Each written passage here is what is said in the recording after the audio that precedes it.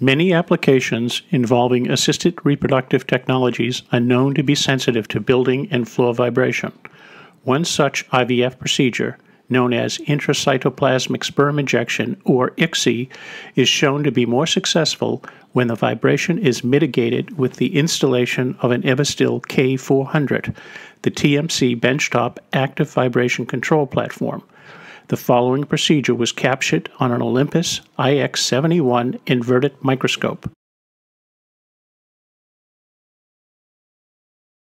This is the image of an egg cell, known as an oocyte, attached to a holding pipette on the left.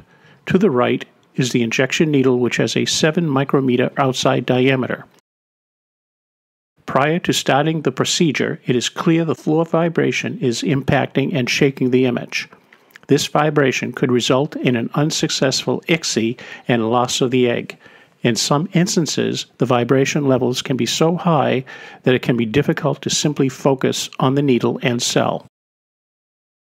When the K400 vibration cancellation platform is turned on, it is clearly evident the vibration levels decrease significantly.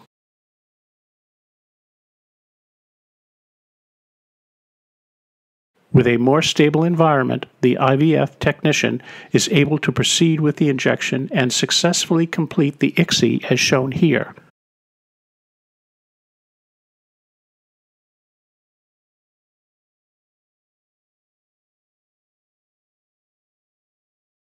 With reliable and effective low frequency vibration cancellation, the clinic is now able to perform these micro manipulation techniques more safely and efficiently.